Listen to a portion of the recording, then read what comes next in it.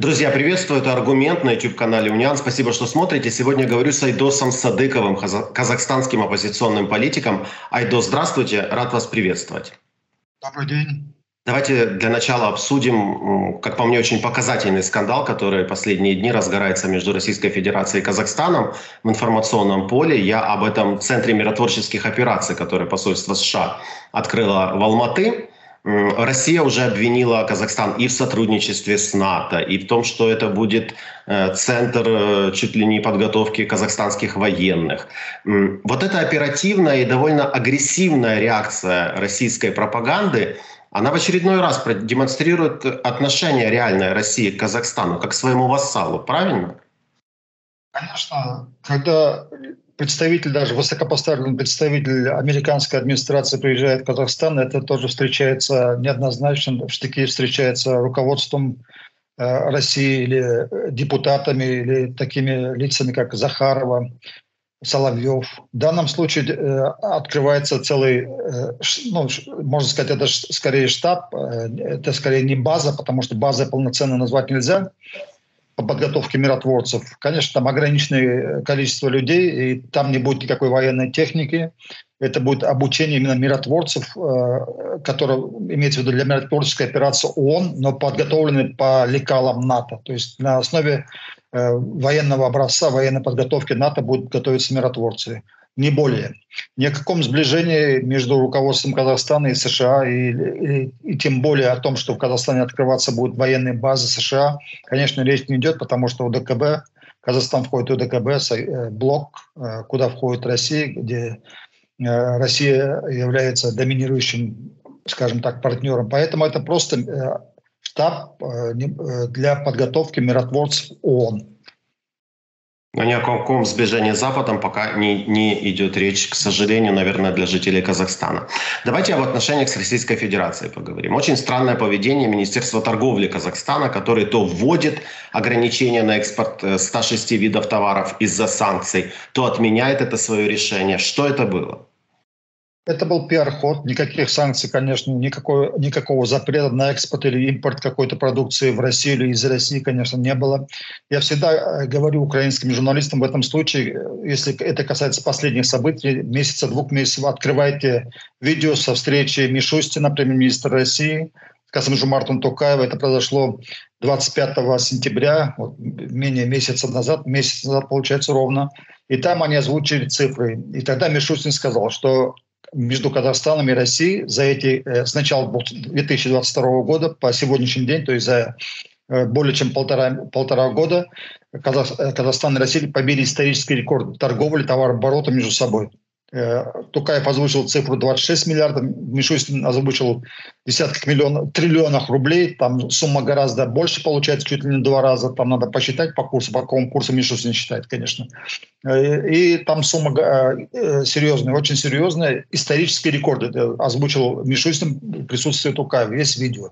Поэтому когда я слышу, что Казахстан будет запрет на какой-то импорт или экспорт какой-то продукции в Россию, это, конечно, понятно, что этого невозможно, в принципе это невозможно. Скорее всего, это, э, это пиар-ход, это сделано специально для иностранных журналистов, чтобы они обсуждали, что, опять же, руководство Казахстана ведет какую-то полит, э, независимую политику. Это заявление было сделано во время саммита, э, который произошел недавно в Пекине. Это было тогда это сделано. О нем обязательно тоже еще поговорим. То есть, ну, часть журналистов можно, конечно, обмануть. Можно ли обмануть западное руководство? Ведь параллельно с, после встречи с Мишустиным такая встречается с Шольцем, которому клятвенно обещают, что Казахстан будет придерживаться выполнения санкций. Удается ли э, Астане обманывать украинских западных партнеров? Я думаю, они никого не обманули, тем более ни Шольца, ни администрацию Украины, ни администрацию США. Но американцы, европейцы, руководство Украины предпочитают закрывать глаза. Они прекрасно понимают, что происходит. Они прекрасно понимают, что Токаев и его администрация помогает Путину обходить санкции, помогает, поставляет ему военную технику, микрочипы и так далее. Но предпочитают делать хорошую мину, потому что считают, что, наверное, что если они будут э, сильнее давить на Тукаева, то, возможно, он э, ринется в обратную сторону и станет вторым Лукашенко. Я предполагаю, что именно такой ход мысли у руководства европейских, американ... и европейских стран и американцев, потому что другого объяснения здесь нет. тут очевидно, озвученные цифры есть. Даже это было сделано как раз до поездки еще в Германию, до саммита Центральной Азии с руководством Германии. И там могли, вполне могли немецкие или другие иностранные журналисты спросить Тукаева, вот видео вашей встречи с Мишустиным. О каких санкциях может идти речь, если вы озвучиваете здесь цифру 26 миллиардов долларов? А здесь Мишустин говорит, вот его слова, вот видео, что Казахстан и Россия во время войны с Украиной, когда весь мир ввел санкции против э, России, между Казахстаном и Россией э, э, побит исторический рекорд товарообороте. Как это объяснить? И Токаев там бы закопался просто. Но, этого было не, э, но это не, не сделано было, потому что, видимо, посчитали, что не стоит его загонять в угол. Айдос, ну наверняка ведь не только экономические причины такой зависимости от Российской Федерации. Ведь если посмотреть со стороны, у Казахстана не самая последняя экономика в регионе. У нее есть другие партнеры, кроме Российской Федерации. В чем причина все-таки вот этой дружбы патологической? Эта дружба началась еще с Советского Союза, э, еще со времен Назарбаева, когда Назарбаев стал первым секретарем э, ЦК Компартии Казахстана. Потом он стал одним из тех, кто подавлял первую, э, первое казахское восстание 86 -го года, декабрьское восстание Желтовсан, которое сейчас является днем национального, национальным днем праздника. После этого, когда пришел Назарбаев к власти, после этого тесные связи Кремлем, сперва Горбачевым, потом Ельциным сыграли свою роль, и Казахстан продолжал оставаться в формате России. А потом пришел Путин, эта связь еще более укрепилась. Ну, укрепилась, если раньше при Ельцине Назарбаев как, сохранял какую-то горизонтальную связь, какую-то видимость, какой-то, э, э, э, скажем так, Э, равноправие партнеров, то при Путине этого нет. Путин просто прогибает остальных под себя. Э, я тут главный, а вы остальные подо мной все. И остальные это принимают. Я имею в виду остальные центральноазиатские диктаторы э, и руководители Закавказской республики. Через что еще влияет Российская Федерация на казахстанские власти? Возможно, через агентов своих спецслужб. Вот по украинскому опыту до войны сейчас мы понимаем, да, что достаточно высока была концентрация российских агентов в органах власти э, в Украине. Насколько актуален этот вопрос для современного Казахстана? Главный агент Путина сидит в Аккурде и возглавляет Казахстан. Поэтому остальные все агенты по сравнению с ним просто просто никто, просто абсолютно нули. По сравнению, Джеймс, э, по сравнению с Тукаевым, Джеймс Бонд, Мата Хари вместе взятые э, не стоит правого пальца его ноги даже в этом смысле, по его значимости. Он проводник главной российской политики в Казахстане. Он человек, которого поставил Путин, который, э, которого Путин помог удержаться у власти во время январской революции. Поэтому все остальные моменты, когда есть ли агенты, нет ли агентов, а кто их искать будет, если Тукаев этого не хочет? Если э, такой политической боли нет, кто будет искать агентов российской разведки или китайской разведки, спецслужба Казахстана, правоохранительных органов Казахстана? Искать их просто не будут. Ну, понятно, что их не ищут, но как вы думаете, насколько их много? Даже приблизительные цифры не могу сказать. Тут можем сказать, что э, не менее, скажем так, 70-80%, э, ну, официально могу сказать так, все 100% госслужащих, чиновники – Э, сотрудники силовых органов, все они поддерживают Токаева, руководство Казахстана. Они все поддерживают ОДКБ, они все поддерживают э, ЕС. И они все поддерживают официально Путина, как э, уважаемого с точки зрения их уважаемого руководителя России. Поэтому с этой точки зрения можно сказать, что 100% тогда. Э, с другой точки зрения, надо вы, но вы, это вычислить невозможно, в принципе просто. Можно предполагать, какие-то цифры безумно говорить, но угу. это все догадки. Ну и плюс огромное информационное влияние продолжается Российской Федерации. Да, э, под, под влиянием информационных российских именно каналов находится большая часть Казахстана. Да, российские телеканалы круглосуточно транслируются на Казахстан. Соловьев, Симонян и все остальные э, пропагандисты российские, они транслируются на Казахстан, на, в основном на старшее поколение. Поэтому это тоже, но э, несмотря на требования петиции многочисленные, о закрытии российских телеканалов в Казахстане, э, которые собирали которые, э, казахские патриоты. Тем не менее, эти каналы продолжают вещать. Они даже не соблюдают э, положенные нормы, там 50% на казахском, допустим, или 70% на казахском в некоторых местах. Это не соблюдается. На русском языке без всякого перевода, без сурдоперевода, без текстового перевода они транслируются. Ну, это очень показательно, как э, некоторые страны, в том числе и Казахстан, не делают выводов из ошибок Украины. До 2014 года у нас тоже были в свободном доступе российские каналы. Видим, к чему это привело. Да? Чем вам отвечает Кремль за такое отношение? Он шлет только угрозы. Вот последнее, одно из последних заявлений посольства Российской Федерации в Астане, там назвали, во-первых, народ Казахстана братским, это уже должно настораживать казахстанцев. Мы видим, чем подобное обращение закончились для украинцев. И, во-вторых, заявили о готовности помочь защитить территориальную целостность. Это что за заявление? От кого защищать, чтобы вы ответили на такие заявления? Э, судя по всему, от 20 тысяч террористов, которые, возможно, снова нападут на Казахстан. Если вы в курсе, если помните, э, в январе 2022 года Тукаев озвучил цифры, что на Казахстан напали 20 тысяч международных террористов, подготовленных на зарубежных э, базах.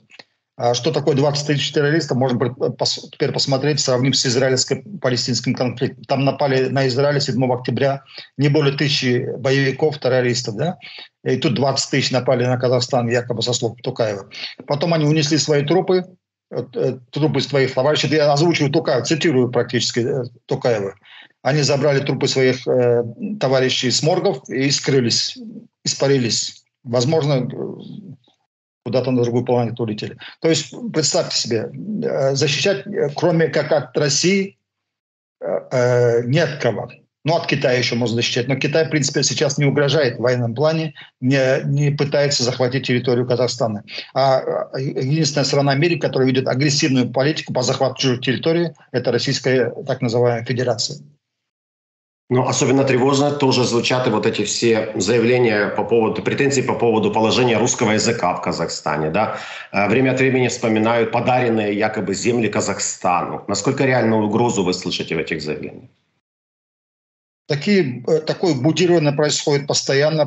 Последние, вот, э, это можно, просто на это пристальное внимание стало э, уделяться именно после Майдана, после украинских, украинской революции. До этого как-то на это не, не, обращали внимания, а именно после этих событий, когда все поняли, что Россия может захватить, как захватила Крым, или попытаться организовать военный конфликт на Донбассе, то же самое проделать в Казахстане. Именно с тех пор казахские патриоты все стали обращать внимание на вот эти заявления. Именно с тех пор э, постоянно шла какая-то информационная перепалка, информационная война между казахскими патриотами с одной стороны и с другой стороны российскими пропагандистами.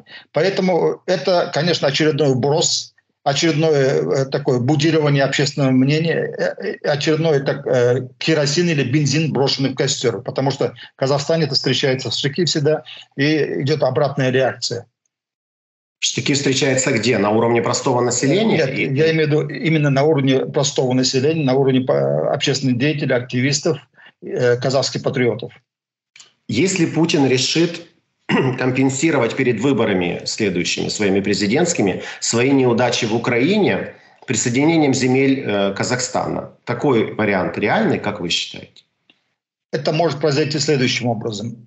Тукаев с Путиным встречаются в Кремле, как э, э, год назад встречались с представителями ДНР и ЛНР, и там Путин с Токаевым подписывает две бумажки. Токаев подписывает э, постановление о том, что Казахстан добровольно присоединяется к России, а, а Путин подписывает другую бумажку о том, что Россия принимает в свой состав э, Республику Казахстан. Вот таким образом это произойти может. То есть целиком при таком управлении Э, коррумпированном, полностью прокремлевском.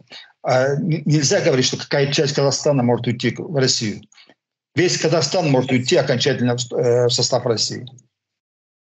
Э, что должен сделать Путин, чтобы Такаев пошел на это? Или уже и делать ничего не надо? На что именно? Ну вот на аншлюз, на воссоздание СССР 2.0.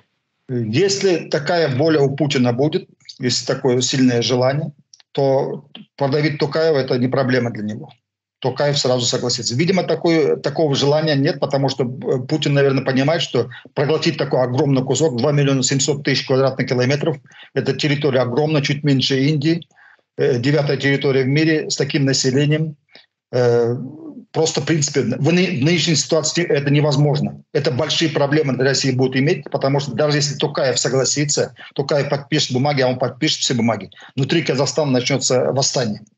Это восстание потом дальше перекинется по, Воль, по Волжье, э, к тем тюркским народам, которые проживают, татарам, башкирам, которые тоже недовольны. Оно э, перекинется за Байкале, поднимутся буряты, алтайский народ, Северный Кавказ поднимется. И это, в конце концов, э, закончится достаточно плачевно для российской так называемой империи.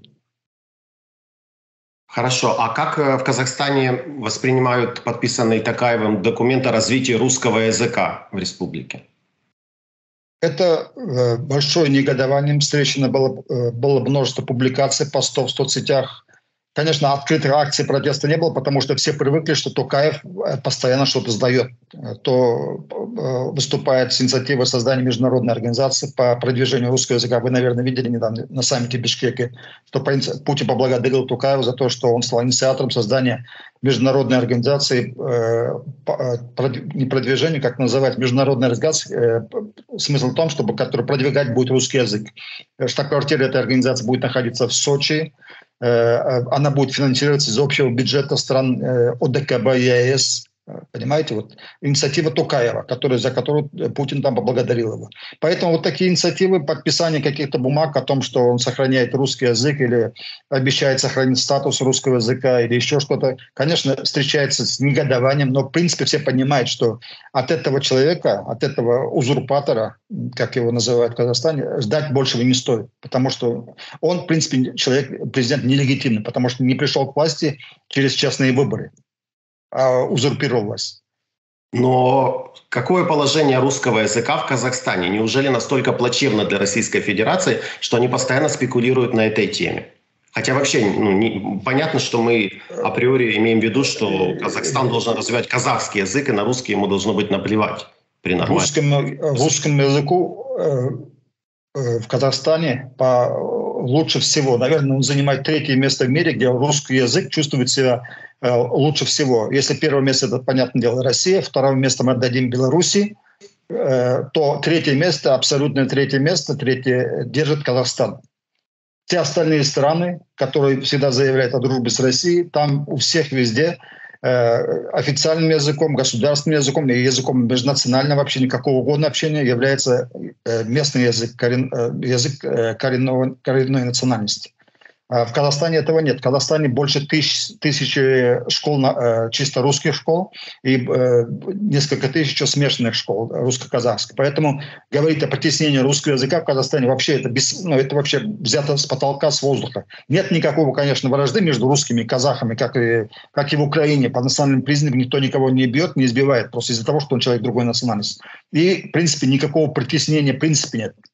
Потому что это, э, к сожалению, так получилось, что была сначала коллективизация, когда половина нашего народа э, вымерла из-за коммунистов, э, были массовые пессии, а потом была целина, когда массово заселялись казахские земли. И в результате по переписи последние 79 года население, коренное население Казахстана, казахи, занимали процентном отношении только 33%. То есть занимали там чуть ли не, ну, второе это точно, и, и доходил до третьего места иногда находя, на своей собственной земле, казахи были самой малочисленной нацией из всех советских республик. Простое население Казахстана. Вы говорите, недовольны постановлением о развитии русского языка. Люди же слышат э, вот эти ну, слабо замаскированные, замаскированные угрозы со стороны Российской Федерации и о территориях, да, и так далее. Люди боятся повторения событий в Украине со стороны Российской Федерации? Говорят об этом уже или нет?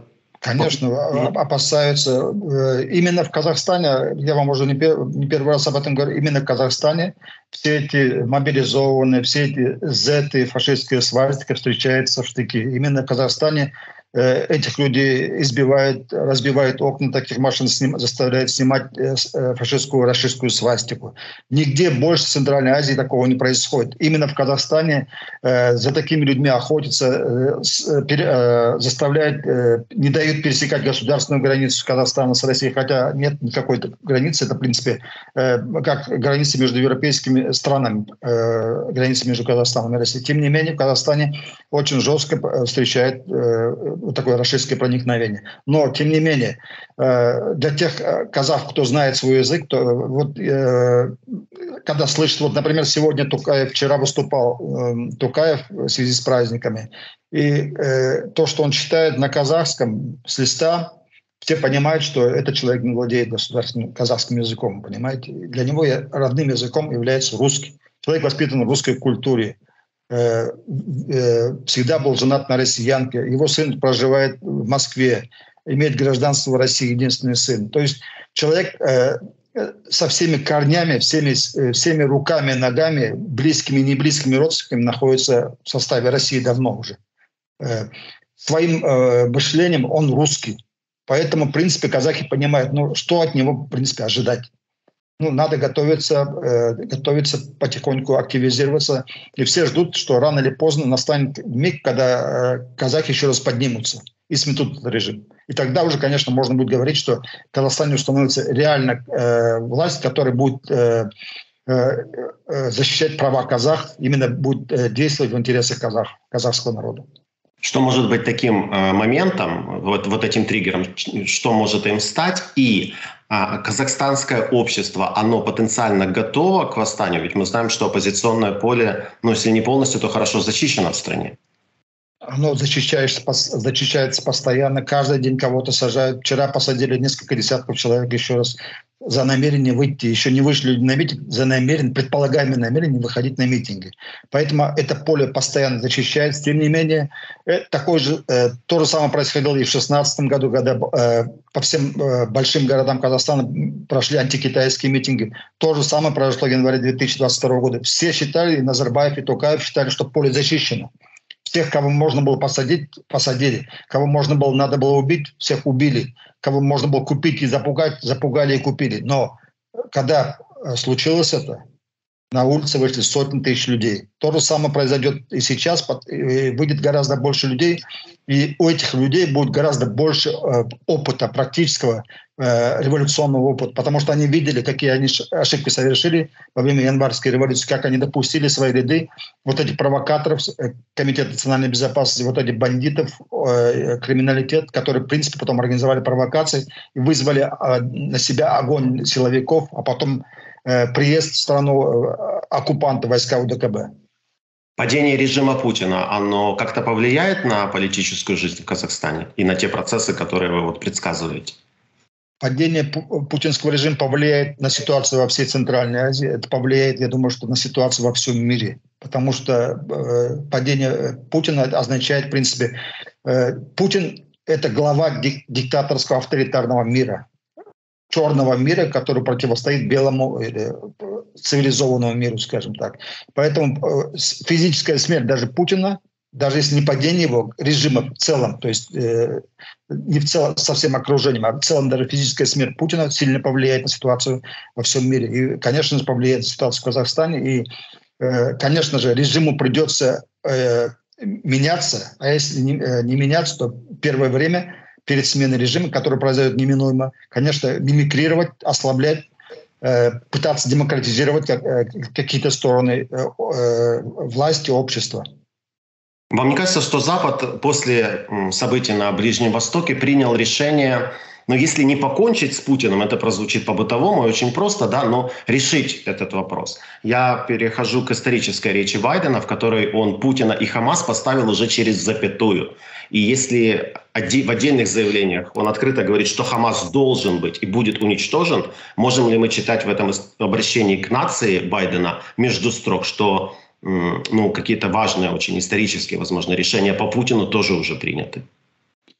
Путина э, Байден объявляет, получается, что это враг человечества, которым надо покончить. Но это желание, намерение. Но за намерениями, заявлениями следуют должны действия. Пока с Путиным, с Российской империей воюет одна страна – Украина. Блок НАТО официально э, войну Путину не объявил, России не объявил. Э, да, большая помощь Украине – оказывается в экономическом военном плане. Но, в принципе, американцы же не воюют с Россией. Говорить об этом не приходится. Конечно, они хотят, чтобы Россия, э, путинский, э, Россия э, возможно, ослабела, чтобы путинский режим сменился. Но я из того, что я вижу, я не, не вижу, что они хотят полного развала России. Я и говорю о, об американцах, о европейцах. Они хотят развала России. Они, я не вижу, что они хотят, чтобы Россия распалась на какие-то национальные образования. Судя по всему, они хотят просто смены каких-то фигур в Кремле, какого-то сближения России То есть э, они хотят примерно ситуации, как это было при Ельцине, возможно, какого-то второго Ельцина, но э, в принципе они не хотят распада Российской империи. А вы верите, что Российская Федерация может после поражения в этой войне обойтись без распада? Ослабление власти, если это случится, поражение в войне э, приведет к смене режима. В принципе, смена режима, это значит, верхушка вся как минимум уйдет. Э, э, новая форма власти должна будет образоваться, какая-то демократизация должна начаться. Вот, как только начнется серьезная демократизация, выборная власть, только ослабеет центральная власть. В этом случае, конечно, э, народы Северной, Северного Кавказа, Поволжья, татары, башкиры и Забайкаль, Забайкаль, в первую очередь, где они наиболее многочисленные народы, они, конечно, я думаю, потребуют независимости, как это произошло в 1991 году в Советском Союзе. То есть ослабление серьезной центральной власти э, э, э, приведет к тому, что Россия начнет распадаться. А ослабление произойдет только после того, как э, сменится режим э, или Россия потерпит сокрушительное поражение в войне. Ну, тут нужно понимать, что режим – это не Путин, да? Если кто-то режим, из, э, из да, да, режим. им возглавит Российскую Федерацию, это все может растянуться на долгие десятилетия да. и снова непременно закончится войной. Но только, возможно, это будет да. уже не Украина, а, возможно, Украина вновь. Да. Хорошо.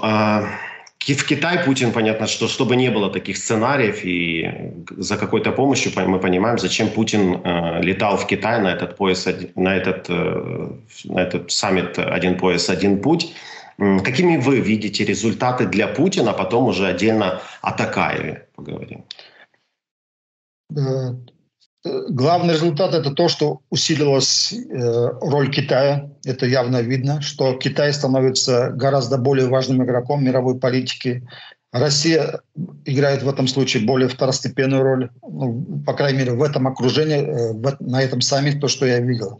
Э, Китай собирает, приближает к себе новых, то есть тех, те страны, руководители тех стран, которые так или иначе обижены на Запад, э, на европейские, ведущие европейские страны, на американцы. Поэтому мы видели, что создается какой-то новая ось, новый союз какой-то, пока, пока неофициальный союз э, под эгидой Китая, в первую очередь, во вторую очередь под эгидой России – куда вошли все центральноазиатские страны, вошли некоторые страны Закавказья, я имею в виду Азербайджан, э, ну, в дальнейшем войдет, скорее всего, потому что на саммите Бишкека был Азербайджан, руководитель Азербайджана, э, ближневосточные э, деспотии, и африканские страны, то есть и некоторые американские, южноамериканские страны, как Венесуэла, Куба.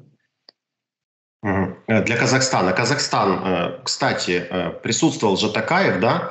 Есть информация о том, что он встречался с Си Цзиньпинем. О контактах с Путиным нигде информации нет. Они действительно там не провели встречу? Официально он встречался с Путиным, со всеми встречался, и с, э, встречался с президентом Сербии, э, встречался. То есть Венгрия. там было Венгрия, Венгрия, то есть там было э, участников чуть больше 20 стран. Они все с друг другом встречались. Какие-то объявления об этом где-то не делалось. Или в общем списке они проходили. Но в целом они встречались друг с другом. Это был саммит сперва э, в широком кругу, а потом каждый с каждым они встречались. Поэтому и Путин встречался с президентом Сербии, и с Орбаном встречался, премьер-министром Венгрии. То есть э, представители двух европейских стран, которые известны своей пророссийской позиции, они тоже там были, и они тоже встречались и с Путиным, и с Тукаевым. Но можно ли говорить, что Путин значительно каких-то успехов достиг на этом саммите? Были какие-то, как вы думаете, возможно, тайные договоренности, которые бы касались Украины? Я не могу судить, я э, вижу то, что э, в открытых источниках идет э, экономическое сближение и политическое сближение между этими странами. Конечно, их интересует экономика. Политика, экономика, в принципе, идут рука об руку. Усиление политического влияния влечет за собой сближение экономической части. Здесь, конечно, и Китай, и Россия хотят, хотят зайти на эти рынки, африканские, ближневосточные, кто-то хочет экспортировать туда продукцию, кто-то, кто хочет, наоборот, экспортировать туда промышленные свои товары, э, рабочую силу. И, в принципе, э, купить какие-то месторождения, как китайцы в Африке, на Ближнем Востоке.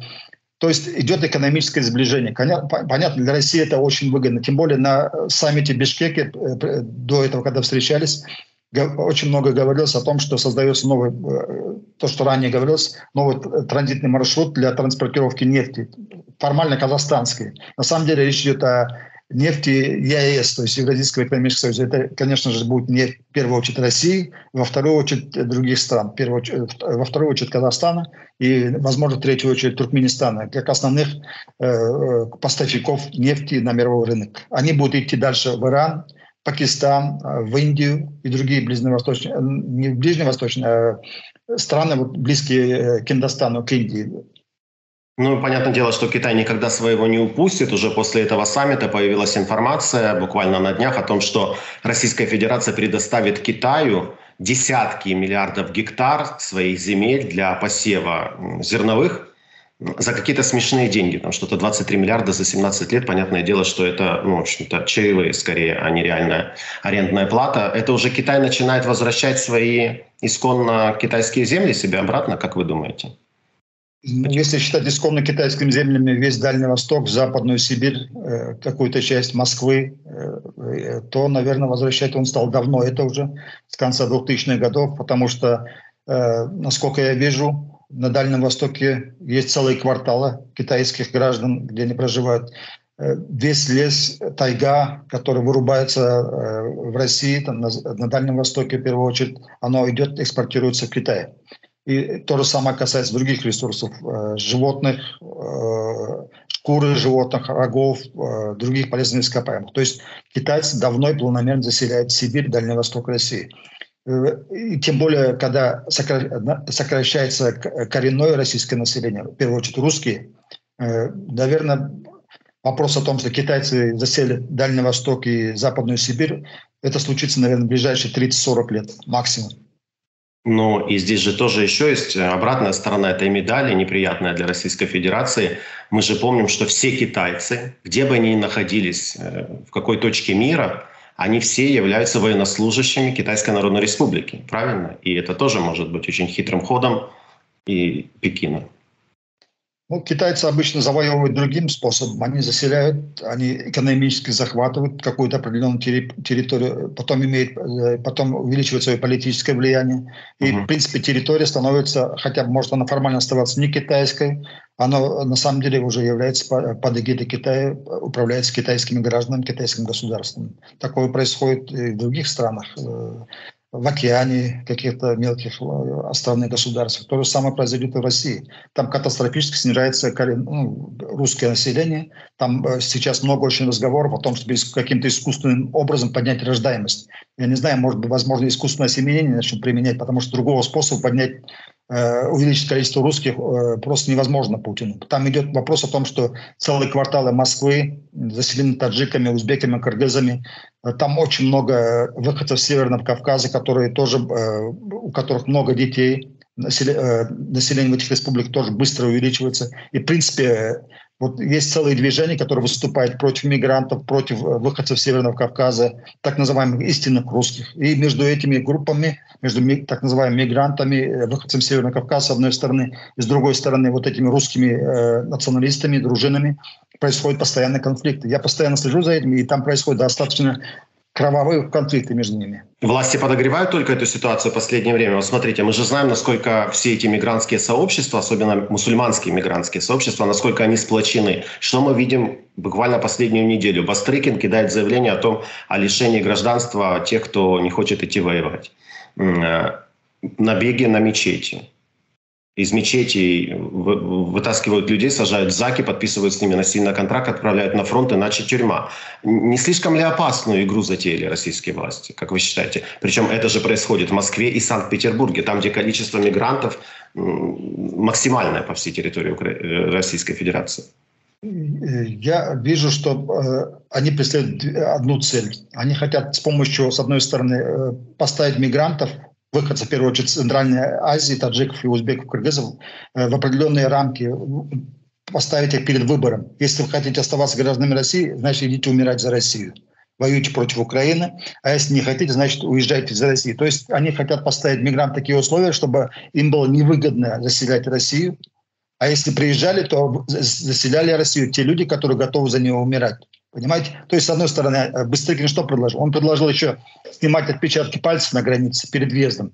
у женщин, детей, мужчин без разбора. Преступник ты не преступник, просто автоматически все заезжающие граждане, э, мигранты, так предполагаемо не, не мигранты, заезжающие в Россию, это в первую очередь, опять же хочу сказать, таджики, узбеки, кыргызы, которых большинство мигрантов, из мигрантов, их, у них берутся отпечатки пальцев. Потом заходят, заносят э, в особую базу данных. Им даются российские, у них должны быть российские сим-карты, чтобы они получали постоянные уведомления, которые им положено читать. То есть они таким образом хотят их поставить, на, в первую очередь, на контроль, а поставить, потом поставить такие э, условия, что они должны или умирать, или уезжать из страны. Ну, добьются они э, или э, снижения количества мигрантов, что отразится на их экономике, да, или мигрантских бунтов, которые могут быть очень опасными для российской власти. Айдо, спасибо вам огромное за это интервью. Я, пользуясь случаем, хочу поздравить вас с праздником, с Днем независимости Казахстана. Желаю вам, чтобы вы как можно быстрее этот праздник встретили на своей родине.